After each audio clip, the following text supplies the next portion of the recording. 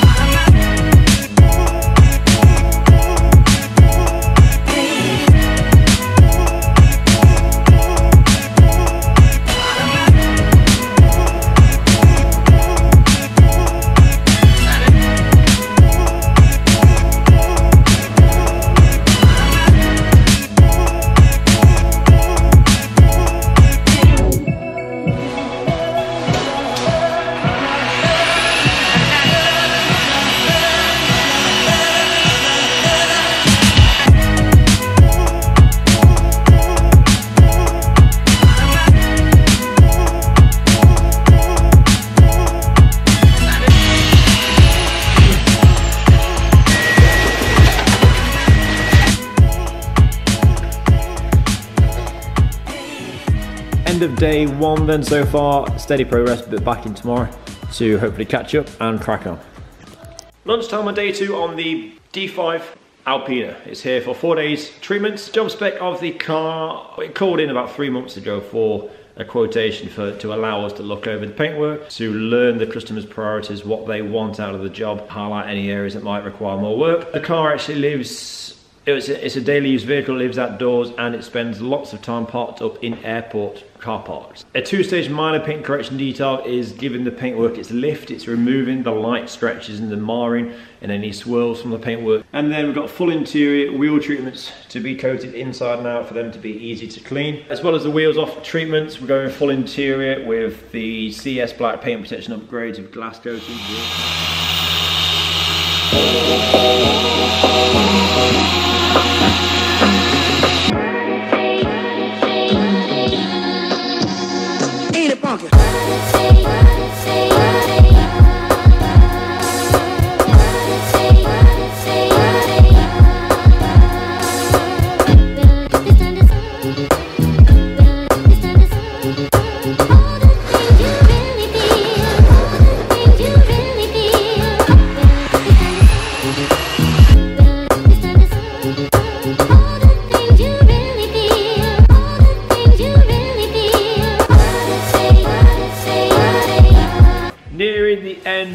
Day three, Wednesday on the Alpina.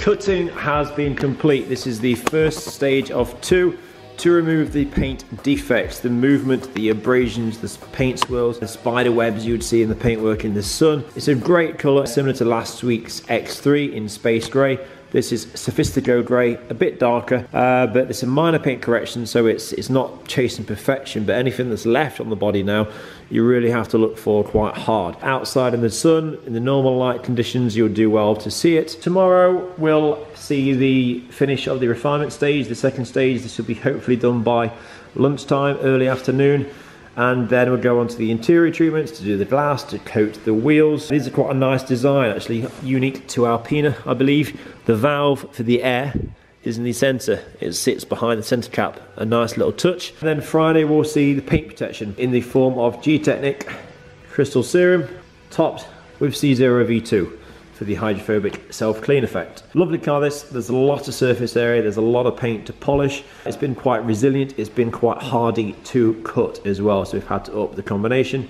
to dig out the defects. Nice car. Of mail drops. Not done this for a while. Know what this one is. From our friends up in Elgin, Alan and the team.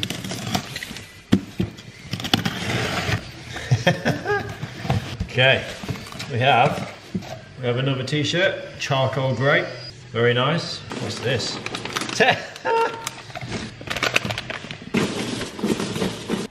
Mince pies. Not your average. Oh, mine gets better. Two packs of Starburst. Well, I wasn't expecting that. Thanks, Alan. And next one. White details. Oh. Ah. From Kai, Kamikaze Collection. Thank you, sir. Stance rim coat, wheel protection, and ISM coat Pro.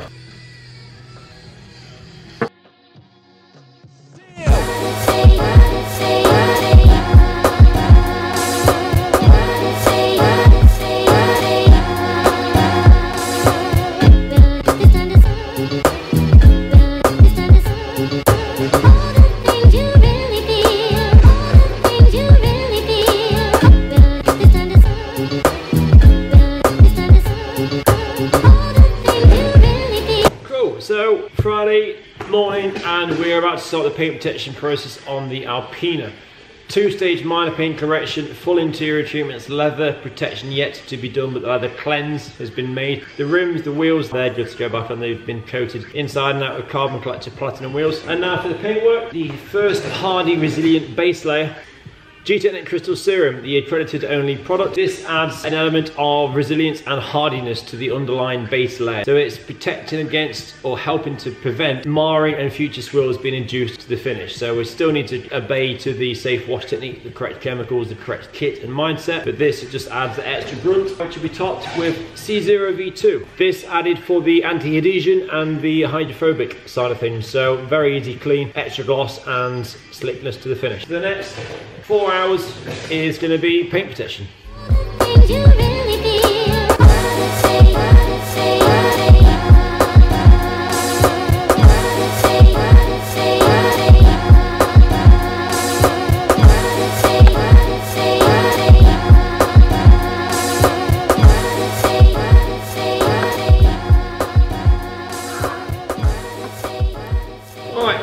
Those that are new to the channel or new to detailing itself, uh, you've heard me talking about two-stage polishing, cutting, refining, a minor correction and major correction. I want to just sort of touch base and cover them, uh, what they all are. It really starts with a paint enhancement detail, which is a single stage polish, so a once over. So a combination of pad polish combination of the polisher, which is mild enough to be able to finish down itself. So you don't need to then follow that with a secondary refining stage. That is the refining stage. It's boosting the clarity, it's pulling the gloss, it's just flattening the surface as nice as possible. So there is an element of correction done, so it's more suited for next to new cars, new cars next to new cars, or the Alpina now in 12 months, 15 months, 18 months time, whenever that chooses to come back, it'll have a full safe wash and decontamination and hopefully if the owner does the correct maintenance, the correct wash technique with the correct chemicals, kit and mindset and not sort of start to clamber over the car, that's really all it should need, just to very sort of light marring, remove the surface haze or the sort of movement you see on the panels in the sunlight. It's quite a forgiving colour for that to be honest. On top of the paint enhancement there is then the minor paint correction detail which is a two stage polish. So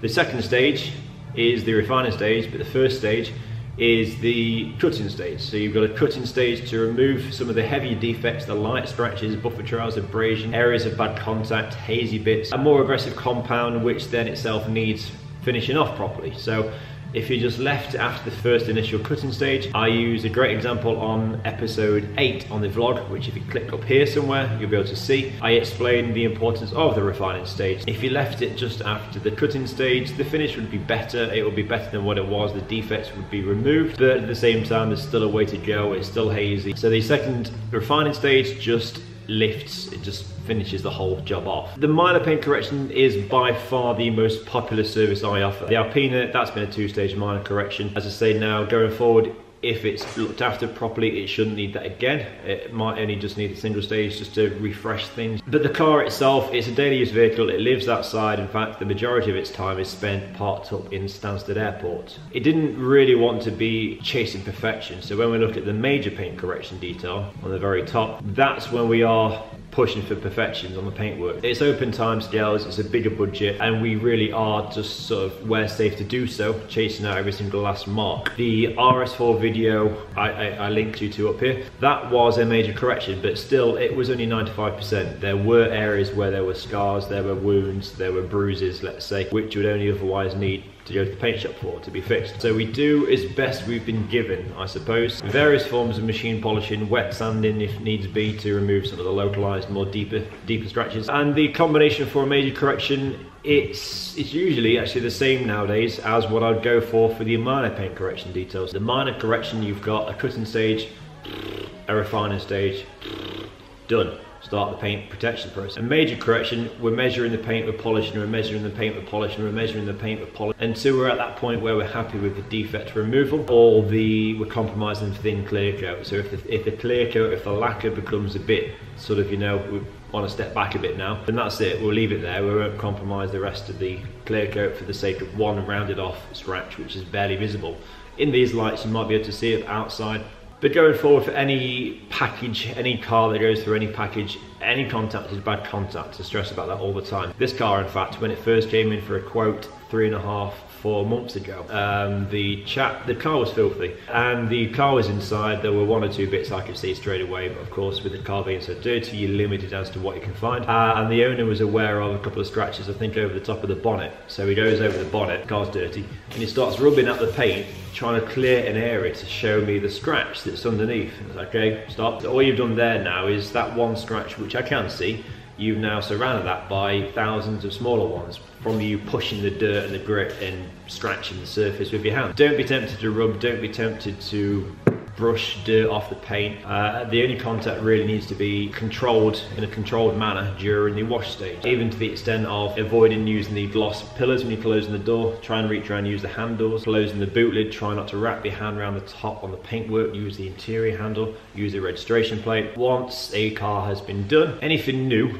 would stand out like a sore thumb. But anything beforehand, anything new to the paint would sort of blend in to what's already there. If the car was a sapphire black BM uh, Alpina, obviously a bit more obvious to see the damage. Anything new on the middle of the bonnet would just be there. It would be standalone. It would be shouting out saying, "Hey, look at me." Whereas beforehand, it would just blend into the damage and the haze and the grey washed out finish that is already there in place. So with basics there covered, I will now move on to a quick walk around on the car.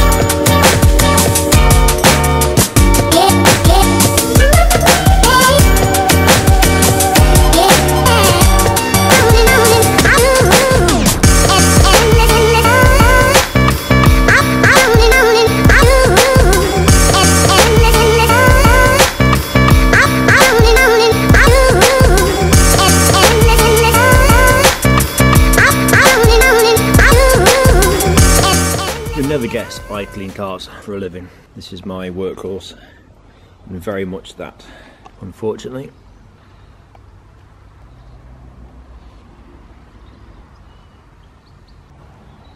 Yeah, so that was hard work. The thing about an unprotected car is the dirt hangs, the dirt sticks. So before I started my car, I've just done a customer's Bentley Continental, also silver, but wearing various coatings and treatments.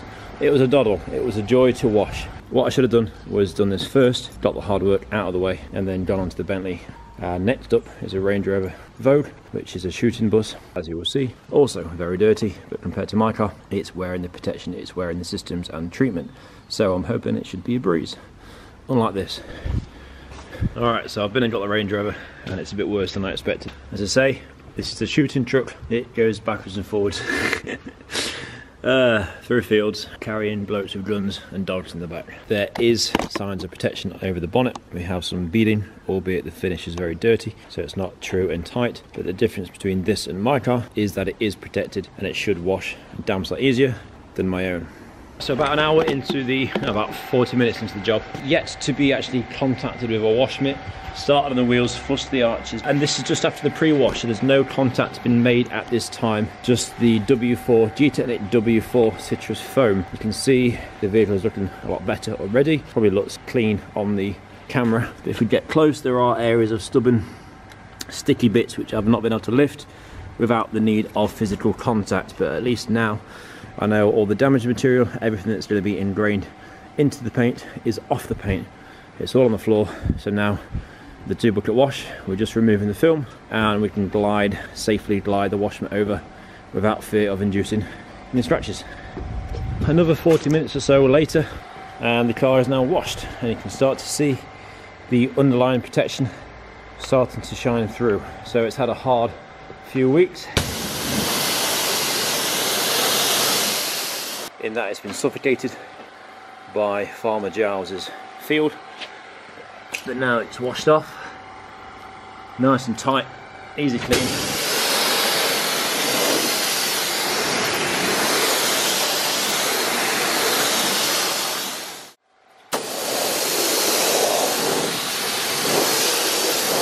Protection in place is Kamikaze ISM coat. And I forget now how long ago it was applied but I can look into that and let you know. But very happy with that looking good after a nice refresh things are well and still a lot easier to wash than my own car even though this has been through a field backwards. So quickly inside with the Vogue. Now another thing the coating benefits for is easier drying as well as easier washing. So you saw how much water was left stood on the vehicle outside. All I've done is sheeted the water, a flow of water like an open hose on a watering can without the sprinkle effect. Sheeted the water off, this has now got a lot less water on the bonnet to pick up. Nice big fluffy microfiber towel. We'll dry the majority in one nice easy pass. So it's a quicker, more effective wash and very much easier and faster to dry.